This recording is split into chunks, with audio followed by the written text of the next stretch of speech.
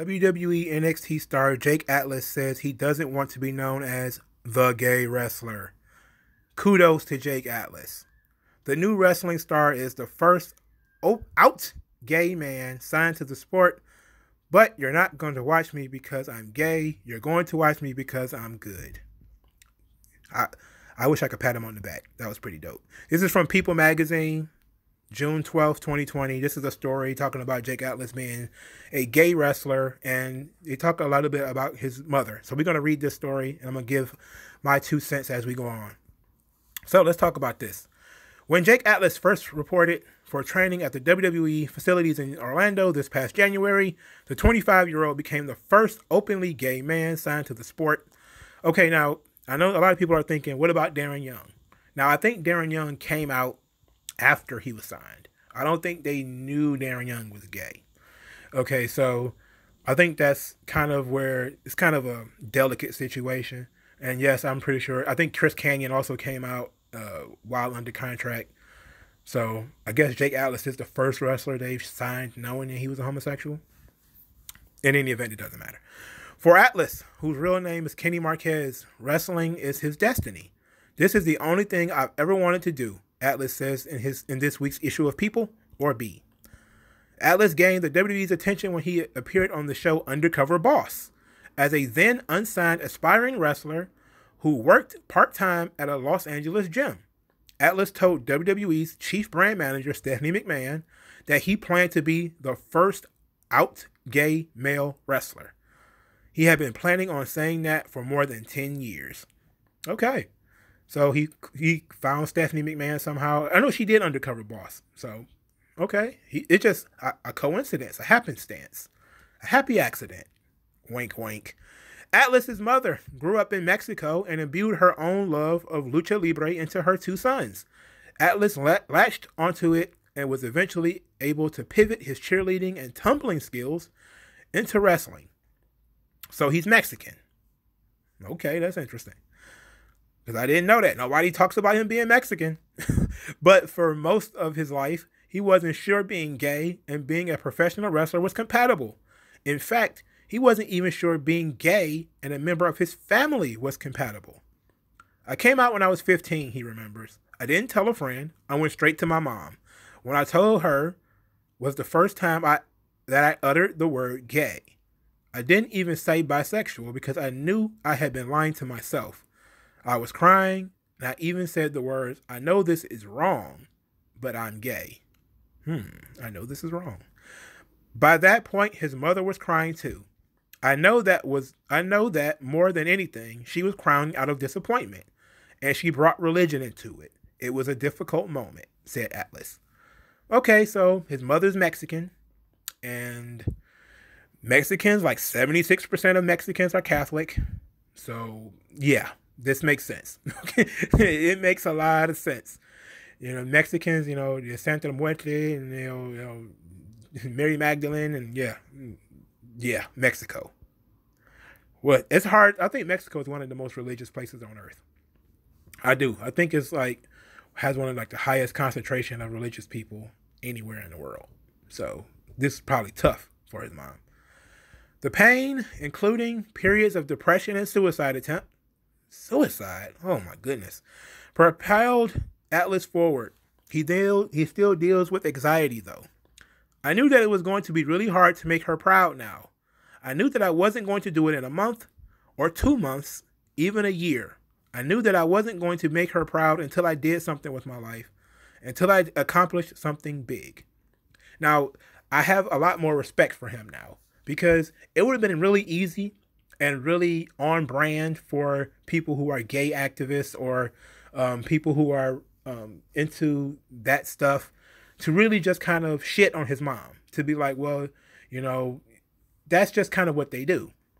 And a lot of people, uh, they talk about how their parents treated mistreated them after they came out and stuff like that. And it's just a, a, a session of, you know, how can how ignorant our parents are and how. But in this situation, the, the respect level for me is all about he sees now that he's kind of behind the eight ball, that he he he is something that he cannot help, and that his mom is disappointed. But he still needs that that that satisfaction of her knowing that he is not just gay, that he is also going to do other things, that he used that disappointment to focus him towards a positive goal instead of wallowing and saying, Woe is me, uh, my mom hates me, or whatever the case may be, and then going on the internet talking about how much my mom hates me. You know, so I can appreciate this. And sometimes when people get in situations, you know, and it's, it's it doesn't necessarily have to be being gay. Sometimes when you go to when you go to jail, your parents are super disappointed in you, and you have to overcome that. There's going to be a story I'm going to do.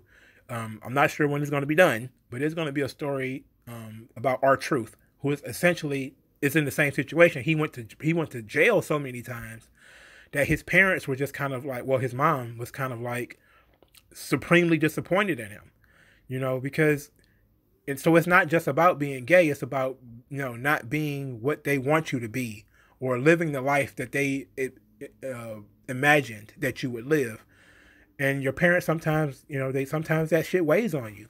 And i can understand that. Sometimes when your parents are disappointed in you it does refocus you. If you're the right kind of person it refocuses you.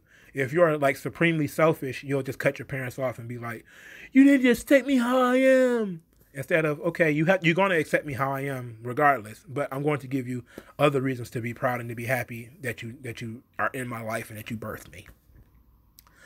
So let's get back to the story after that soliloquy he dropped out of college and began wrestling professionally while still working part-time in 2018 but he wanted to do it as an out gay man he came out very publicly on twitter which led to thousands of negative and positive comments he recounts it was scary and difficult to go into this head first, but there was no other way. So Jake Atlas was uh, called. Well, he was he won a uh, rookie of the year. Uh, so I don't I don't know what this means, but he came out in on January 25th, 2018 on Twitter. Says I'm proud to be the first openly gay Southern California Rookie of the Year. So that was something. That sure was something. He was signed to the WWE in 2009 as an NXT superstar, and this year he made his debut in the ring. He lost his first match, but he knows he's still winning. That's due in part to the shoulders he's standing on outside of the ring. Now, I remember when he debuted, I made a video about Jake Atlas's debut, and there not being, and there were so many people your favorite wrestling journalists, quite a few of them, and your favorite podcasters and talking heads on Twitter who have thousands of followers were really, really mad that Jake Atlas was not talking about being gay. That it was not the first thing that came out of anybody's mouth. He should have just come on WWE TV and say, Hey, I'm gay. Oh, yeah, my name is Jake Atlas. That's really what they wanted. What they got was a guy who was introduced just like every other wrestler, and talked about his motivations. And then he went out there and he wrestled, had a pretty decent match. Okay. Now there there is another um, more famous wrestling journalist who was quoted in books and things like that, who swore up and down, swore just swore on a stack of Bibles that Jake Atlas would have been a superstar if he'd signed to AEW, because apparently there are no gay people on AEW's locker room, uh, in locker room apparently.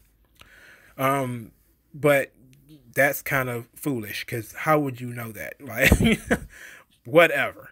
But the the bottom line is this. I think this is the best way to handle somebody being something. You you introduce them as a wrestler first, and then you get to know them personally.